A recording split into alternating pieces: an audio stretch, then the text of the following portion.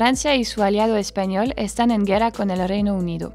El gran ejército de Napoleón está reunido a lo largo de la costa del Canal de la Mancha, listo para invadir la isla. Para ello, Napoleón encarga a la flota francesa en el Mediterráneo de dirigirse a las Antillas con el fin de atraer a la poderosa Marina Real. Luego deben volver rápidamente al Canal de la Mancha para permitir el desembarco militar. Pero en el camino de regreso, el plan falla.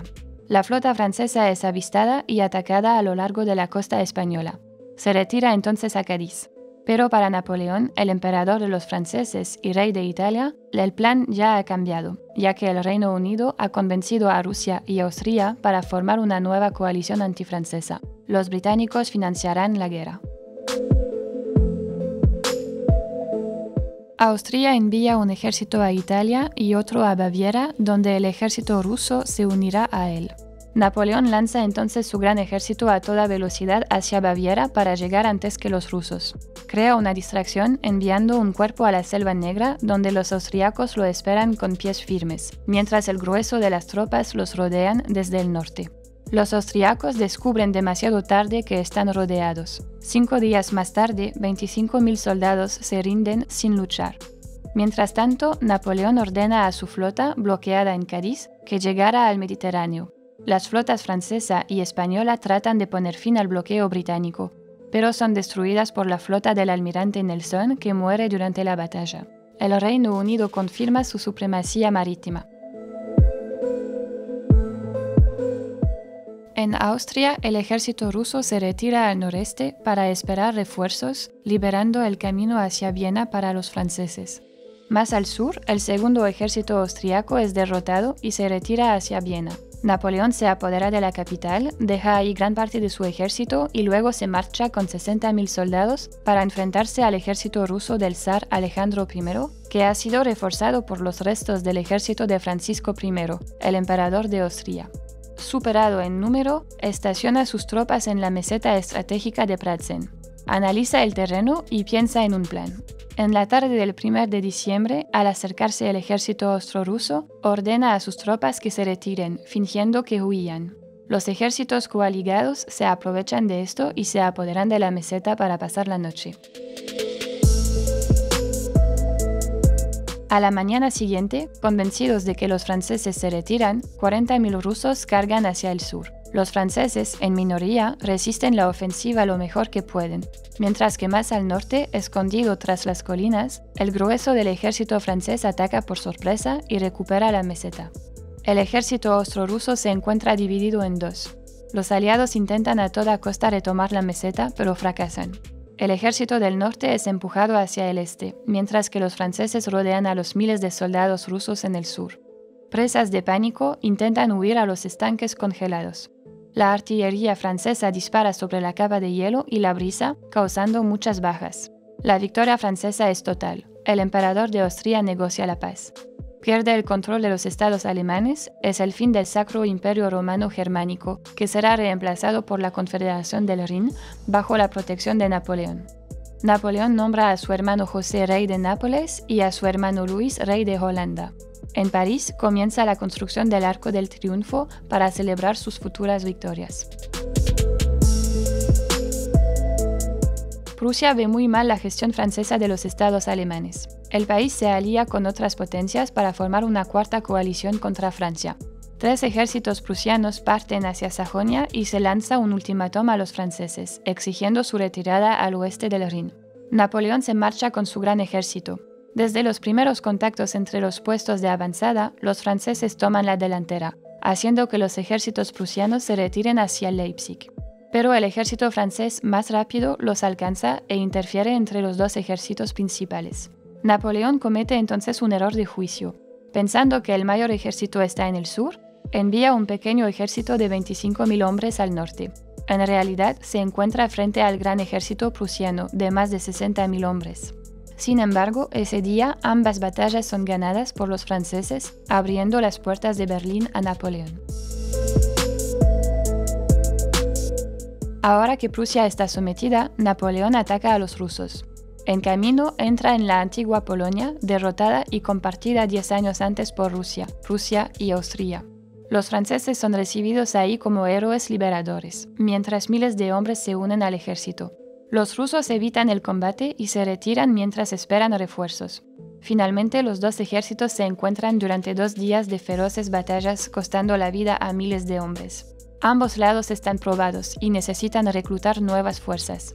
Cuatro meses después, los rusos tratan de sorprender a los franceses lanzando un ataque frontal, pero son rechazados y perseguidos.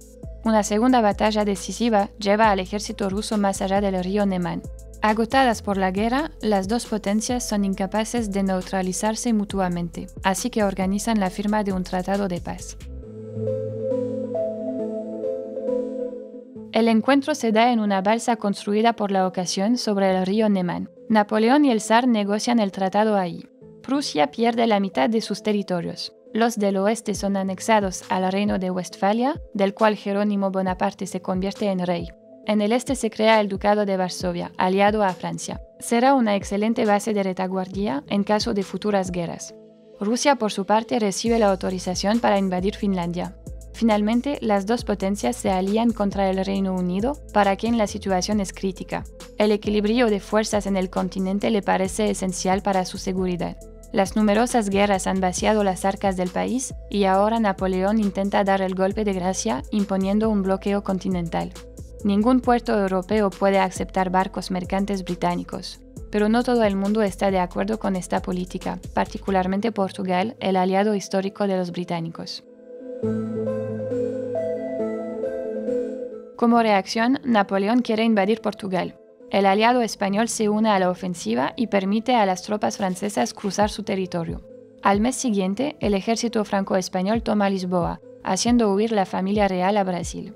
Pero después de esta victoria, nuevas tropas francesas son enviadas a España. Napoleón comienza a tener vistas sobre el país, que ya no es la gran potencia de antaño.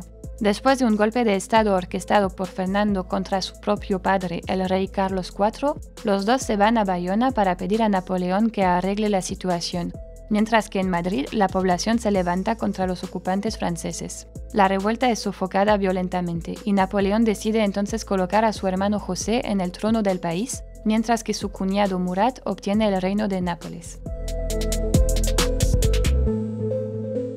Después de la masacre de la revuelta madrileña, la población en todo el país está furiosa. Se forman milicias que organizan una guerrilla contra el ocupante, particularmente las guarniciones francesas aisladas y las líneas de comunicación. Los franceses son torturados y masacrados. En respuesta, los ejércitos franceses arrasan pueblos sospechosos de albergar rebeldes. En los años siguientes, Francia refuerza constantemente su presencia militar para intentar someter a las ciudades y zonas rebeldes. En el sur, un ejército francés es derrotado. En pánico, José Bonaparte huye de Madrid con su ejército. La información se difunde por toda Europa, motivando movimientos antifranceses. Al mismo tiempo, un ejército británico desembarca en Portugal. Napoleón quiere resolver la situación por sí mismo con su gran ejército. Como teme ser sorprendido por el este, arregla una reunión con el zar para tratar de fortalecer su alianza pero no consigue nada convincente. Sin embargo, envía parte de su gran ejército a la península donde los ejércitos españoles, divididos y mal organizados, son aplastados en un mes. Mientras el ejército británico es perseguido, Napoleón se entera de que Austria se prepara para entrar en la guerra. Deja sus ejércitos y abandona el país a toda prisa. En el este, el ejército austriaco entra en Baviera, esperando que se le unan Prusia y la Confederación del Rin en nombre del nacionalismo alemán pero no sucede. Por su parte, Napoleón pide a Rusia que entre en la guerra contra Austria, lo cual es rechazado. Se forma una quinta coalición, pero en realidad Austria se encuentra sola contra Napoleón. En pocos días, su ejército se divide en dos. El grueso de las tropas apenas consigue huir al norte del Danubio, dejando el camino libre a Viena. Napoleón toma la capital por segunda vez, mientras los austriacos toman posición al norte del Danubio. Para que la victoria sea total, Napoleón busca una manera para cruzar el río, cuyos puentes son destruidos. Empieza a construir puentes y luego intenta cruzar el río. Pero una poderosa ofensiva austríaca los empuja de vuelta a la isla de Lobau. Esta fue la primera gran derrota de Napoleón, que se establece en Viena para reforzar su ejército y organizar una nueva ofensiva. En una noche consigue que más de 140.000 soldados cruzan el Danubio. Después de dos días de feroz y sangrienta lucha, los austriacos se retiran y piden un armisticio. El tratado de paz es severo para Austria, que pierde muchos territorios y ya no tiene acceso al mar. Además, Napoleón, que no logra tener un descendiente legítimo con Josefina, arregla su divorcio y luego se casa con María Luisa, la hija del emperador de Austria, con quien espera tener un hijo. En Francia, Napoleón se vuelve cada vez más autoritario, toma muchos prisioneros políticos y censura los medios de comunicación en beneficio de su propaganda. La situación económica del país es mala. Las guerras, y especialmente los 300.000 soldados estacionados en España, son costosos y requieren muchos recursos. El 20 de marzo de 1811, María Luisa da a luz al tan esperado heredero de Napoleón. Es nombrado rey de Roma. En España, solo la ciudad de Cádiz resiste todavía a los franceses, mientras que en Portugal, un nuevo ejército británico dirigido por Wellington toma el control y repele a los franceses. Los franceses piden a Napoleón refuerzos, pero no los obtienen porque éste concentra ahora todas sus fuerzas en el Ducado de Varsovia. Las relaciones con Rusia se han deteriorado y se está preparando para invadir el país.